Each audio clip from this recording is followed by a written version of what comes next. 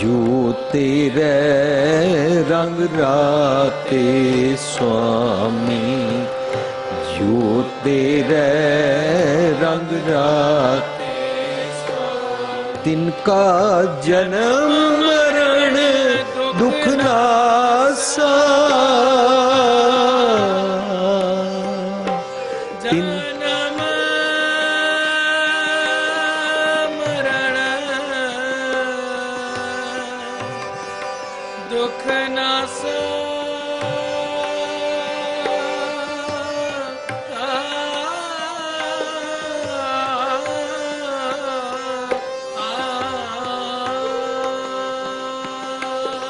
ਕਾ ਜਨਮ ਮਰਨ ਦੁਖ ਨਾਸਾ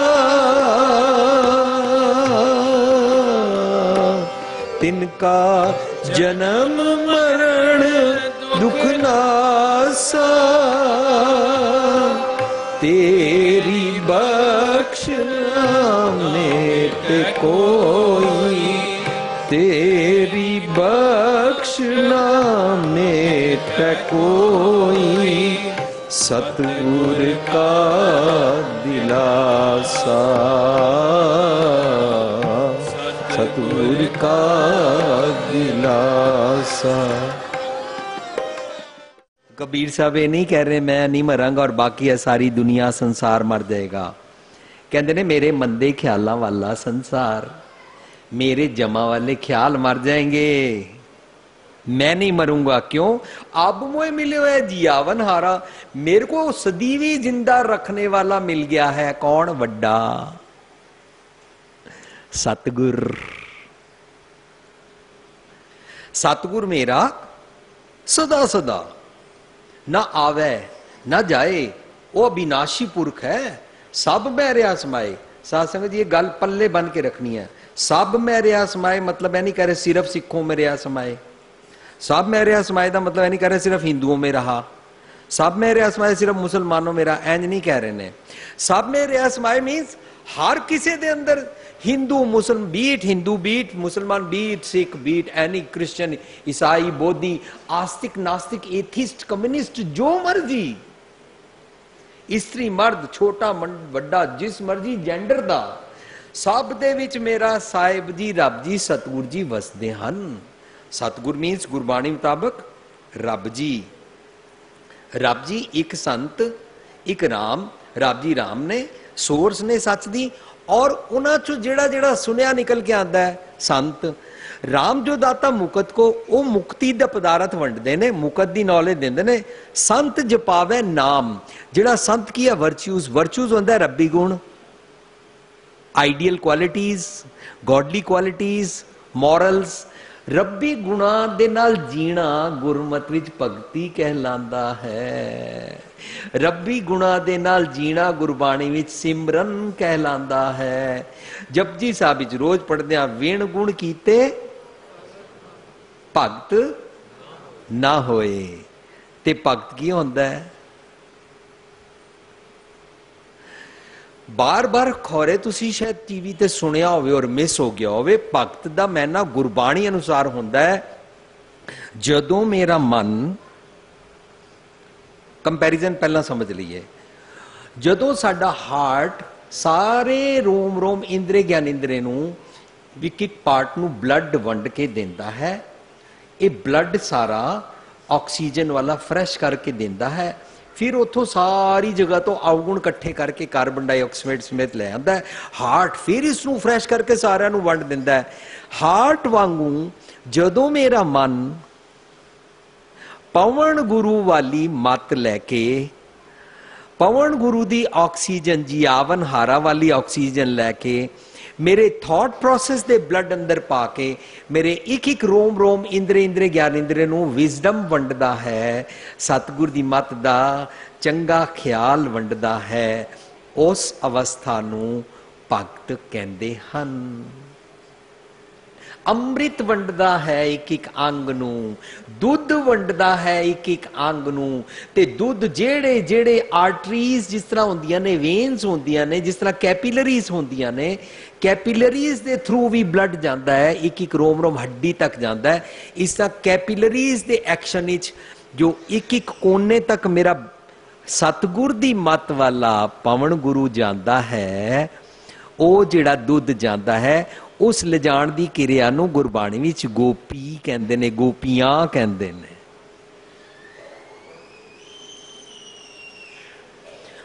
ਹੁਣ ਇੱਕ ਸੰਤ, ਇੱਕ RAM RAM ਜੋ ਦਾਤਾ ਮੁਕਤ ਕੋ ਸੰਤ ਜਪਾਵੇ ਨਾਮ ਜੋ ਜੋ ਮੈਂ ਰੱਬੀ ਗੁਣਾ ਦੇ ਨਾਲ ਜੀਂਦਾ ਹਾਂ, ਤਾਂ ਮਾਨੋ ਮੈਂ ਰੱਬ ਜੀ ਦਾ ਨਾਂ ਯਾਦ ਕਰ ਰਿਹਾ ਹਾਂ। ਕਿਉਂਕਿ ਗੁਰਬਾਣੀ ਚਾਹੁੰਦਾ ਹੈ, ਮਨ ਏਕ ਨ ਚੇਤਸ ਮੂੜ ਮਨਾ, ਹਰ ਬਿਸਰਤ भगवान को भुलाया तूने विसारा हर बिसरत तेरे गुण गलिया गॉडली क्वालिटीज को जब हम छोड़ देते हैं ਉਹਨੂੰ ਗੁਣ ਗਲਿਆ ਕਹਿੰਦੇ ਨੇ ਅੱਛਾ ਇਹਦਾ ਮਤਲਬ ਰੱਬ ਜੀ ਨੂੰ ਯਾਦ ਰੱਖਣ ਦੀ ਨਿਸ਼ਾਨੀ ਹੈ ਰੱਬੀ ਗੁਣਾ ਨਾਲ ਜੀਣਾ ਤਾਂ ਹੀ ਕਿਹਾ ਵਿਣ ਗੁਣ ਕੀਤੇ ਭਗਤ ਨਾ ਹੋਏ ਤੇ ਜੇ ਰੱਬੀ ਗੁਣਾ ਨਾਲ ਜੀ ਰਹੇ ਆ ਤਾਂ ਮਾਨੋ ਰੱਬ ਨੂੰ ਯਾਦ ਰੱਖਿਆ ਹੋਇਆ ਹੈ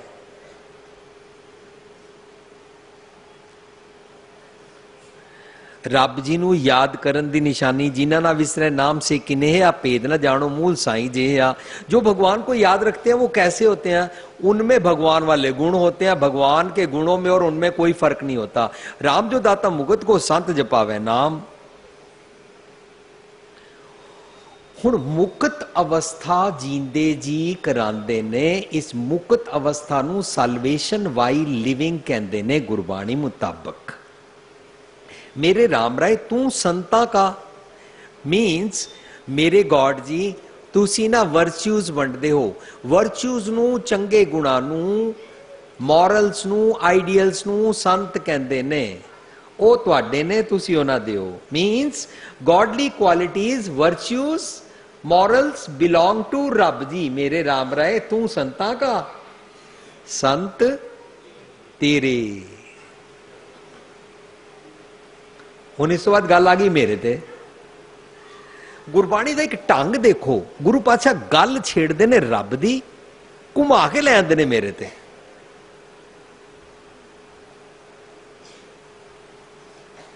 कितना प्यारा ढंग है क्यों क्योंकि गुरु पातशाह दरअसल ਮੈਨੂੰ ਫਿਕਸ ਅਪ ਕਰਨਾ ਚਾਹੁੰਦੇ ਨੇ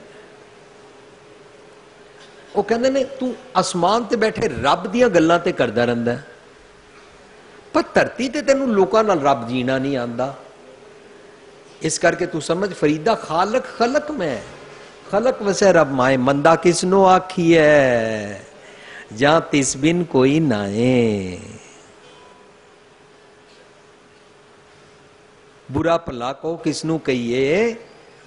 ਸਗਲੇ ਜੀ, ਤੁਮਾਰੇ, ਐ ਜਦੋਂ ਤੂੰ ਜੀਵੇਂਗਾ ਨਾ ਤਾਂ ਮਾਨੋ ਤੂੰ ਅਸਮਾਨ ਤੇ ਮੰਨਿਆ ਹੋਇਆ ਰੱਬ, ਅਸਮਾਨ ਤੇ ਮੰਨਿਆ ਹੋਇਆ ਖੁਦਾ ਜਿਹੜਾ ਤਸੱਵੁਰ ਕੀਤਾ ਹੈ, ਉਹਨੂੰ ਤੂੰ ਥੱਲੇ ਧਰਤੀ ਤੇ ਪ੍ਰੈਕਟੀਕਲ ਲਿਵ ਕਰ ਰਿਹਾ ਹੈ।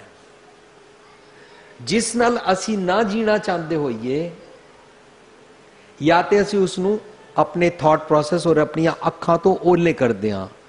ਉਹਦੀ ਗੱਲ ਨਾ ਕਰੋ ਮੇਰੇ ਨਾਲ। ਉਹ ਮੇਰੇ ਮੱਥੇ ਨਾ ਲੱਗਿਆ ਕਰੇ, ਮੇਰੇ ਸਾਹਮਣੇ ਨਾ ਆਇਆ ਕਰੇ। That's how we ignore but otherwise if we don't ignore then we escape how ਅਸੀਂ ਉਹਨੂੰ ਹਾਈਟ ਤੇ ਰੱਖ ਦਿੰਦੇ ਆ ਭਗਵਾਨ ਜੀ ਆਪ ਬਹੁਤ ਅੱਛੇ ਹੋ ऊपर ही रहना नीचे मत आ जाना क्यों अगर तुम ऊपर रहोगे तो मैं तुमको बोलूंगा तुम निर्वैर हो पर नीचे आगे तो मेरे को भी वैर छोड़ना पड़ेगा ऊपर ही रहो ਮਤਲਬ ਜਿਹਦੇ ਨਾਲ ਅਸੀਂ ਨਾਤਾ ਨਹੀਂ ਬਣਾਉਣਾ ਚਾਹੁੰਦੇ ਨਾ ਜਿਹਦੇ ਨਾਲ ਅਸੀਂ ਰਿਸ਼ਤਾ ਕਾਇਮ ਨਹੀਂ ਕਰਨਾ ਚਾਹੁੰਦੇ ਉਹਨੂੰ ਜਾਂ ਤੇ ਕਹਿੰਦੇ ਆ ਫਲਾਣਾ ਮੇਰੇ ਨਾਲ ਬੋਲਿਆ ਹੀ ਨਾ ਕਰੇ ਮੇਰੀ ਮੱਥੇ ਨਾ ਲੱਗਿਆ ਕਰੇ ਉਹਦੀ ਗੱਲ ਮੇਰੇ ਨਾਲ ਨਾ ਕਰੋ ਮੇਰੇ ਸਾਹਮਣੇ ਨਾ ਆਵੇ ਜਾਂ ਫਿਰ ਕਹਿੰਦੇ ਆ ਉੱਪਰ ਰੱਖ ਦੋ ਯੂ ਆਰ ग्रेट ग्रेट रहो ऊपर ही रहो मैं नीच हूं मैं नीचे ही रहूंगा मैं घटिया इंसान हूं तुम्हारे साथ मिलना नहीं है मेरे को तुम्हारे साथ कंट्रास्ट बना के रहूंगा ये ते जम्मा वाली मत हो गई ਜੇ ਇੰਗਲਿਸ਼ ਲਿਟਰੇਚਰ ਵੀ ਪੜ੍ਹ ਲਓ ਤਾਂ ਇੰਗਲਿਸ਼ ਲਿਟਰੇਚਰ ਹਾਲਾਂਕਿ ਮੈਂ ਸਿਵਲ ਇੰਜੀਨੀਅਰ ਆ ਮੈਂ ਨਹੀਂ ਪੜ੍ਹਿਆ।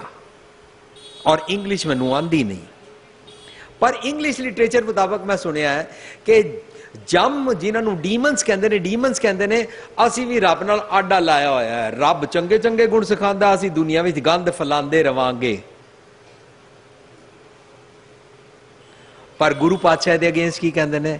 ਕੂੜ ਨਿਖੁੱਟੇ ਨਾਨਕਾ। ओढ़क सच रही आखिरकार सच की जीत होती है ਮੇਰੇ ਰਾਮ ਰਾਏ ਤੂੰ ਸੰਤਾਂ ਕਾ ਸੰਤ ਤੇਰੇ ਹੁਣ ਮੇਰੇ ਤੇ ਗੱਲ ਲਿਆ ਕੇ ਕਰਦੇ ਨੇ ਤੇਰੇ ਸੇਵਕ ਕੋ ਪਾਉ ਕਿਸ ਨਾਈ पाओ मीन्स डर जो तेरी बात को समझता है और तेरे रास्ते को फॉलो करता है वो मन को सेवक को पाओ किच नहीं उसको डर कोई नहीं रहता है ਸਾਨੂੰ ਤੇ ਹੁਣ ਅੱਜਕੱਲ ਸ਼ਰਾਧਾ ਦਾ ਹੀ ਡਰ ਲੱਗਾ ਹੋਇਆ ਨਾ ਮੈਂ ਪਰਸੋਂ ਇੱਕ ਜਿਊਲਰ ਨੂੰ ਪੁੱਛਿਆ ਤੁਹਾਡੀ ਸੇਲ ਕੈਸੀ ਚੱਲ ਰਹੀ ਹੈ ਕਹਿੰਦਾ ਸੇਲ ਘੱਟ ਹੈ ਮੈਂ ਕਿਉਂ ਕਹਿੰਦਾ ਗਾਹਕ ਆਂਦਾ ਹੈ ਦੇਖਦਾ ਹੈ ਪਸੰਦ ਕਰਦਾ ਹੈ ਕਹਿੰਦਾ ਸ਼ਰਾਧਾ ਤੋਂ ਬਾਅਦ ਲਵਾਂਗੇ ਮੈਂ ਕਿਉਂ ਸ਼ਰਾਧਾ ਤੋਂ ਬਾਅਦ ਇਹ ਸੋਨਾ ਕੀ ਮਿੱਟੀ ਹੋ ਜਾਏਗਾ ਇਹ ਸ਼ਰਾਧਾ ਦੀ ਚਕਾਰ ਸੋਨੇ ਤੋਂ ਮਿੱਟੀ ਹੋ ਜਾਂਦਾ ਹੈ ਭੁਲੇਖਾ ਹੈ ਕਾਰ ਨਹੀਂ ਖਰੀਦਣੀ ਵਿਆਹ ਨਹੀਂ ਕਰਾਣਾ ਗ੍ਰਹਿ ਪ੍ਰਵੇਸ਼ ਨਹੀਂ ਕਰਨਾ ਰਿਸ਼ਤੇ ਨਹੀਂ ਕਰ ਰਹੇ। ਡਰ। ਜਿਨ੍ਹਾਂ ਨੂੰ ਡਰ ਹੁੰਦਾ ਹੈ, ਉਹ ਧਾਗੇ ਬੰਦੇ ਰਹਿੰਦੇ ਨੇ, ਲਾਲ, ਨੀਲੇ, ਪੱਥਰ ਪਾਉਂਦੇ ਰਹਿੰਦੇ ਨੇ, ਕੁੰਡਲੀ ਤੇ ਵਿਸ਼ਵਾਸ ਰੱਖਦੇ ਨੇ, ਮੰਗਲਵਾਰ ਤੇ ਸ਼ੁੱਕਰਵਾਰ ਤੇ ਵਿਸ਼ਵਾਸ ਰੱਖਦੇ ਨੇ, ਕਾਰਾਂ ਨੂੰ ਪਰਾਂਦੀਆਂ ਬੰਦੇ ਨੇ, ਘਰ ਦੇ ਬਾਹਰ ਨਿੰਬੂ ਨਿੰਬੂ ਬਰਚਾ ਲਟਕਾਈ ਰੱਖਦੇ ਨੇ। ਹੈ ਨਾ? जरा जो उन्होंने बच्चे हाय काका कि सुन હાય नज़र ना लग जाए। फटाफट फटकड़ी વારો कह गई है वो दी नज़र बड़ी પેડી जे। टिक्का लाओ टिक्के ते विश्वास। एक काले रंग का टिक्का लगा दो पता नहीं कितों आया। पावे कहीं से भी लगा दो काला टिक्का लगा दो उसकी नज़र ना लग जाए। फटकड़ी वारो डरे हो ना। सो so, ਨਿੱਕੀ ਨਿੱਕੀ ਗੱਲ ਤੇ ਆਪਣੀ ਹੀ ਗੱਲ ਕਰਕੇ ਮੈਨੂੰ ਕਿਸੇ ਨੇ ਕਿਹਾ, ਤੁਹਾਡੀ ਸਿਹਤ ਅੱਜਕੱਲ ਬੜੀ ਅੱਛੀ ਆ। ਹਾਂ ਟੱਚ ਵੁੱਡ ਲੱਕੜ ਜੀ, ਆਪ ਬਚਾਓ ਮੁਝੇ। ਤੁਮ ਬਹੁਤ ਬੜੇ ਹੋ। ਭਗਵਾਨ ਜੀ ਛੋਟੇ ਹਨ। ਲੱਕੜ ਜੀ ਯੂ ਆਰ ਗ੍ਰੇਟ ਹਾਏ, ਤੁਸੀਂ ਬਚਾ ਲਓ। ਇੱਕ ਵਾਰੀ ਮੈਂ ਕਹਿੰਦਾ ਹੀਆ ਕੀਤਾ ਸੀ ਸਾਧ ਸੰਗਤ ਦੀ ਲੱਕੜ ਹਮੇਸ਼ਾ ਟੱਚ ਵੁੱਡ ਹੀ ਰਵੇ। ਗੱਲੇ 'ਚ ਪਾਈ ਲੈਂਦੇ ਆ, ਇੱਕ ਛੋਟੀ ਜੀ ਬਣਵਾ ਕੇ। ਟੱਚ ਤੇ ਰਹੇਗੀ ਨਾ। ਕਹਿਣਾ ਨਹੀਂ ਪਏਗਾ ਟੱਚ ਵੁੱਡ ਕੈਸੇ ਭੁਲੇਖੇ ਹਨ? ਗੱਲ ਮੈਂ ਪਾਹਨ ਲੈ ਲਟਕਾਵੇ। ਘਰ ਮੈਂ ਠਾਕੁਰ ਨਦਰ ਨਾ ਆਵੇ। ਅੰਦਰ ਦੇ ਰੱਬ ਜੀ ਤੈਨੂੰ ਸਮਝ ਨਹੀਂ ਆਉਂਦੇ। ਅੰਦਰ ਦੇ ਰੱਬ ਜੀ ਸਮਝ ਨਹੀਂ ਨਾ ਆਉਂਦੇ, ਤਾਂ ਤੂੰ ਡਰਦਾ ਹੈ। ਡਰ ਡਰ ਮਰਤੇ ਜਬ ਜਾਨੀ ਐ ਦੂ ਡਰ ਡਰ ਮਰਤੇ ਜਬ ਜਾਨੀ ਹੈ ਦੂ ਡਰ ਚੁਕਾ ਦੇਖਿਆ ਭਰਪੂਰ। डर चुका देखा भरपूर डर डर मरते जब जानी है दूर डर डर मरते जब जानी है दूर ਜਦੋਂ ਦੂਰ ਸਮਝਦਾ ਹੈ ਤਾਈ ਤੇ ਡਰਦਾ ਹੈ ਨੇੜਾ ਹੈ ਦੂਰ ਨਹੀਂ ਰੇ ਤੇਰੇ ਸੇਵਕ ਕੋ ਪਾਉ ਕਿਛ ਨਹੀਂ ਜਿਨ ਨਿਰਪੋ ਜਿਨਾ ਨਿਰਪੋ ਤੇ ਤਿਆਜੀ ਤਿਨ ਕਾ ਪਾਉ ਸਭ ਗਵਾਸੀ। ਤੇਰੇ ਸੇਵਕ ਕੋ ਭਉ ਕਿਛ ਨਹੀਂ, ਅੱਗੇ ਕਹਿੰਦੇ ਨੇ, ਜਮ ਨਹੀਂ ਆਵੈ ਨੇੜੇ, ਰਹਾਉ। ਜਮ ਉਹਦੇ ਨੇੜੇ ਨਹੀਂ ਆਂਦਾ। ਸ਼ਬਦ ਦੀ ਗਹਿਰਾਈ ਚ ਉਤਰਾਂਗੇ, ਡਰ ਇੱਕ ਜਮ ਹੈ। Fear itself is demon. Fear itself is jam.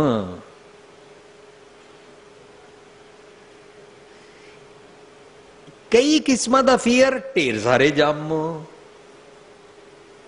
ਪਰ ਔਨ ਦੀ ਹੋਲ ਇਕੱਠਾ ਜੰਮ ਕੀ ਹੈ? ਮੈਨੂੰ ਡਰ ਸਤਾਉਂਦਾ ਹੈ।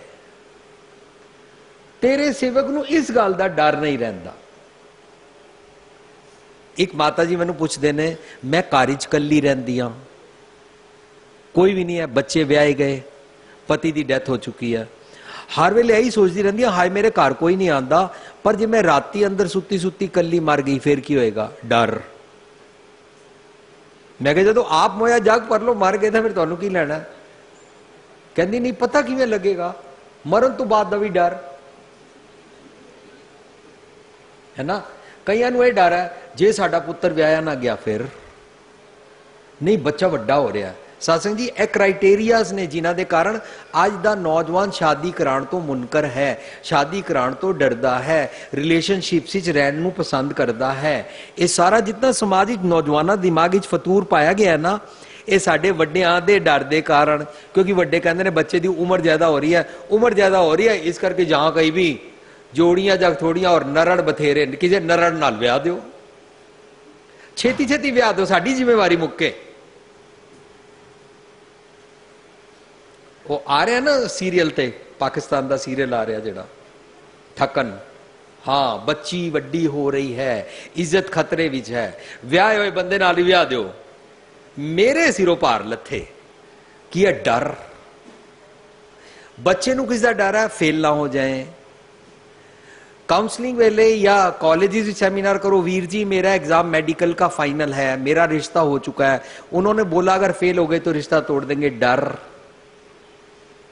ਕਈ ਕਿਸਮਾਂ ਦਾ ਡਰ ਤੇਰੇ ਸੇਵਕ ਕੋ ਭੋਗਚ ਨਹੀਂ ਜੰਮ ਨਹੀਂ ਆਵੇ ਨੇੜੇ ਹੁਣ ਇਹ ਡਿਸਾਈਡ ਕਰਨਾ ਹੈ ਮਰਨ ਤੋਂ ਬਾਅਦ ਜੰਮ ਮੇਰੇ ਨੇੜੇ ਨਹੀਂ ਆਏਗਾ ਲੇਕਿਨ ਜੇਕਰ ਇਹਨੂੰ ਅੱਜ ਮੰਨ ਲਈਏ ਮਰਨ ਤੋਂ ਬਾਅਦ ਆਏਗਾ ਨਹੀਂ ਆਏਗਾ ਪਰ ਐਟ ਪ੍ਰੈਜ਼ੈਂਟ ਮੇਰੇ ਕੋਲ ਆਇਆ ਹੋਇਆ ਮਨੂੰ ਉਸ ਜੰਮ ਤੋਂ ਛੁਡਾਓ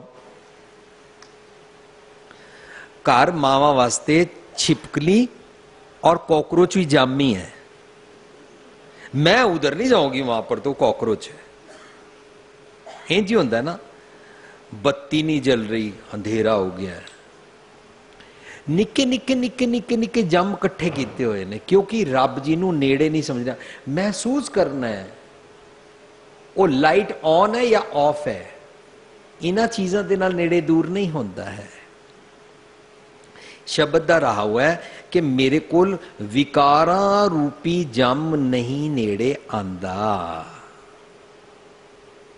ਸਾਧ ਸੰਗਤ ਜੀ ਬਹੁਤ ਜੀਵਨ ਵਿੱਚ ਬਦਲਾਹਟ ਆ ਜਾਏਗੀ। ਜੇ ਮਰਨ ਤੋਂ ਬਾਅਦ ਵਾਲੇ ਜੰਮ ਦੇ ਬਦਲੇ, ਜੀਂਦੇ ਜੀ ਵਾਲੇ ਆਪਣੇ ਚਾਰੋਂ ਪਾਸੇ ਜਿਹੜੇ ਜੰਮ ਚੰਬੜੇ ਹੋਏ ਨੇ, ਉਹਨਾਂ ਤੋਂ ਸਾਡੀ ਜੇਕਰ ਜਾਨ ਛੁੱਟ ਜਾਏ।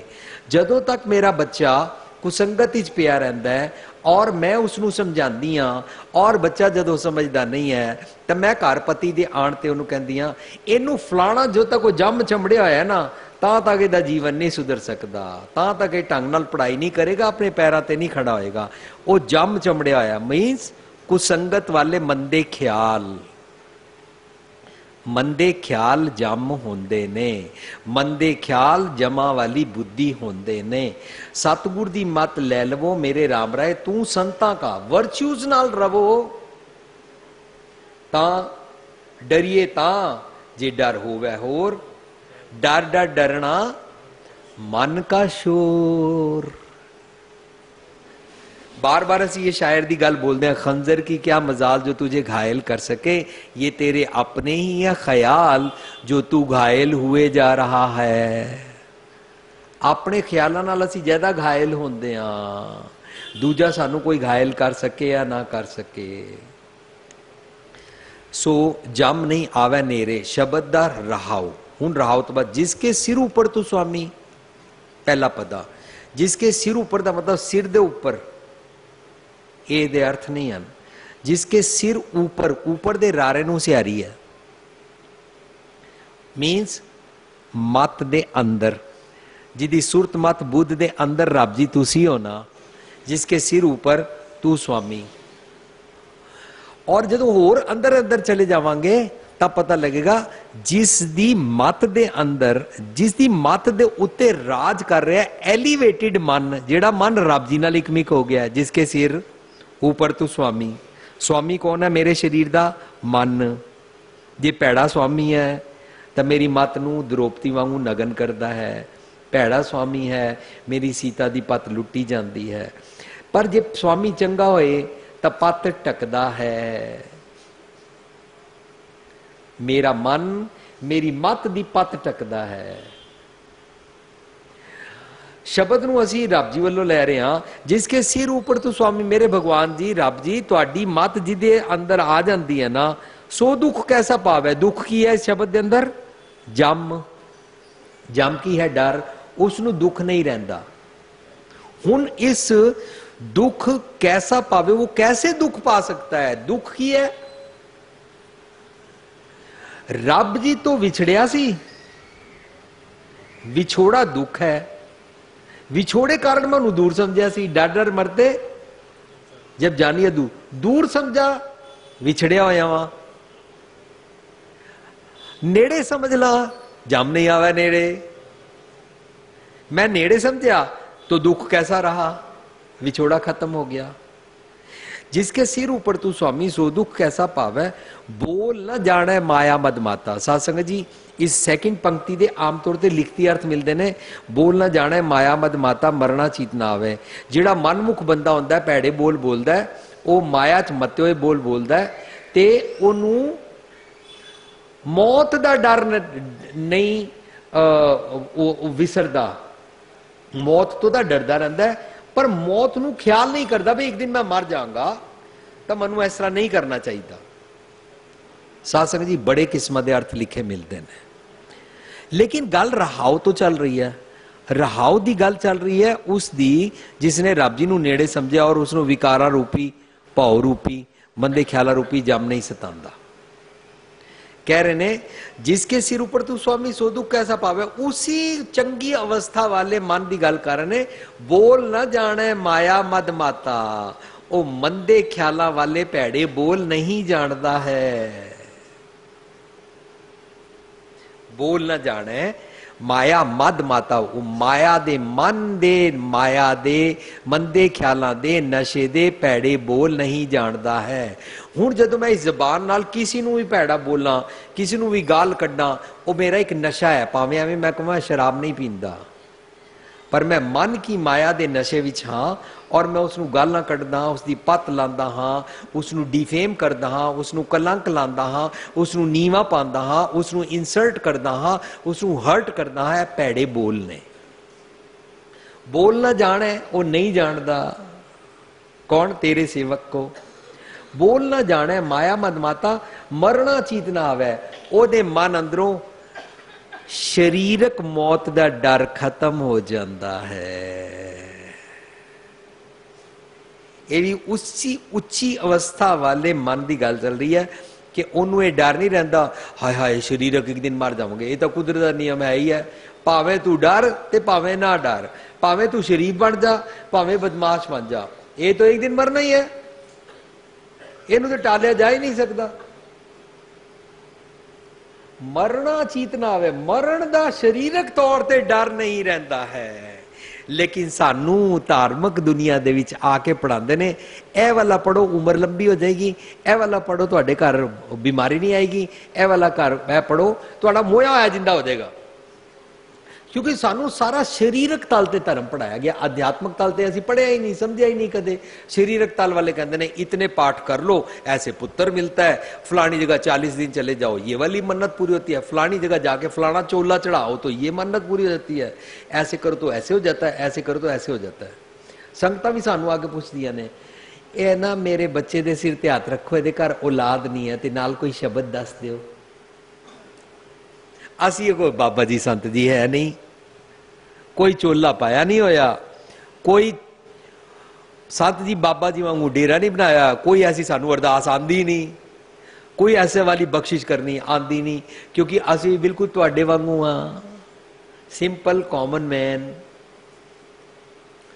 ਇਸ ਪਖੰਡ ਤੋਂ ਸਾਨੂੰ ਛੁੱਟਣਾ ਹੈ। ਬੋਲ ਨਾ ਜਾਣੇ ਮਾਇਆ ਮਦ ਮਾਤਾ ਮਰਨਾ ਚੀਤ ਨਾ ਆਵੇ ਉਸ ਨੂੰ ਸਰੀਰਕ ਮੌਤ ਦਾ ਡਰ ਨਹੀਂ ਰਹਿੰਦਾ ਹੈ मेरे राम राय तू संता का संत तेरे तेरे सेवक को पाव किछ नहीं जम नहीं आवे नेरे रहाऊ जो तेरे रंग राते स्वामी तिनका जन्म मरण दुख नासा ਮੈਂ ਚੰਗਾ ਅੱਜ ਬਣਾ ਤੇ 90 100 ਸਾਲ ਬਾਅਦ ਜਦੋਂ ਮਰਾਂਗਾ ਉਸ ਤੋਂ ਬਾਅਦ ਮੁੜ ਕੇ ਮੇਰਾ ਜਨਮ ਮਰਨ ਨਹੀਂ ਹੋਏਗਾ ਸਾਧ ਸੰਗਤ ਜੀ ਜਦੋਂ ਮੈਂ ਮੰਦੇ ਖਿਆਲਾਂ ਦੇ ਜਮਾ ਦੇ ਵਸ ਪੈਂਦਾ ਹਾਂ, ਤਾਂ ਮੇਰੇ ਹੈਬਿਟਸ ਸੁਭਾਅ ਖਰਾਬ ਹੋ ਜਾਂਦੇ ਨੇ। ਮੇਰੀ ਜ਼ੁਬਾਨ ਦੇ ਨਾਲ ਮੈਂ ਗਾਲਾਂ ਕੱਢਣ ਵਾਲਾ, ਉੱਚੇ ਬੋਲ ਬੋਲਣ ਵਾਲਾ, ਦੂਜੇ ਨੂੰ ਦੋ ਦੀਆਂ ਚਾਰ ਸੁਣਾਉਣ ਵਾਲਾ ਔਰ ਟਿਟ ਫॉर ਟੈਟ ਕਰਨ ਵਾਲਾ ਬਦਲੇ ਲੈਣ ਦੀ ਭਾਵਨਾ ਵਾਲਾ ਬੋਲ ਬੋਲਦਾ ਹਾਂ, ਇਹ ਮੇਰਾ ਆਪਣੇ ਆਪ ਵਿੱਚ ਜਨਮ ਮਰਨ ਹੈ।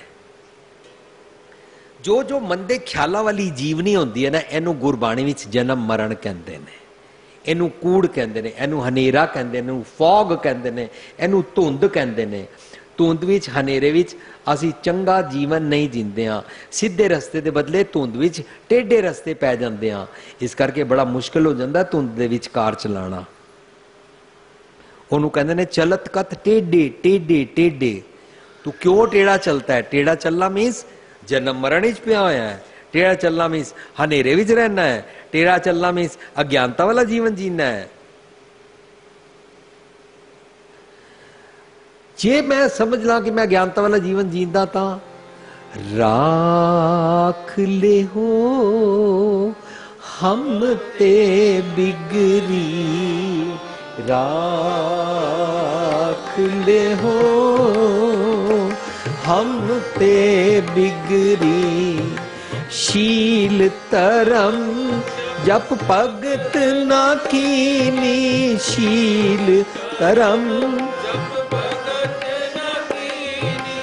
हो अभिमान टेढ़ पगरी हो अभिमान टेढ़ पगरी राख ले हो हम ते बिगरी राख ले हो।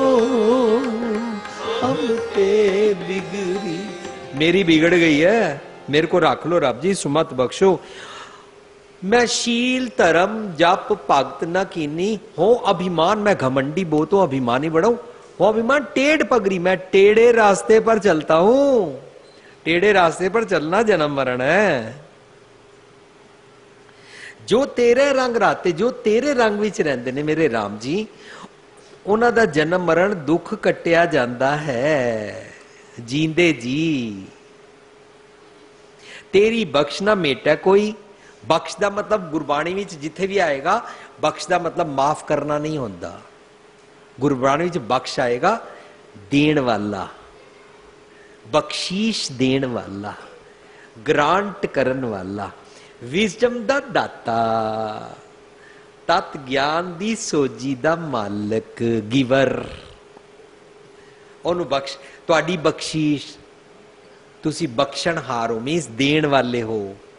ਤੇਰੀ ਬਖਸ਼ਣਾ ਮੇਟਾ ਕੋਈ, ਜਿਹੜੀ ਸੁਮਤ ਤੁਸੀਂ ਬਖਸ਼ਦੇ ਹੋ, ਉਹਨੂੰ ਕੋਈ ਜੰਮ ਨਹੀਂ ਮਿਟਾ ਸਕਦਾ ਹੈ। ਉਹਨੂੰ ਕੋਈ ਭੈੜਾ ਖਿਆਲ ਨਹੀਂ ਮਿਟਾ ਸਕਦਾ ਹੈ। ਸੰਤ ਨਾ ਛੱਡੇ ਸੰਤਈ ਜੇ ਕੋਟਕ ਮਿਲੇ ਅਸੰਤ।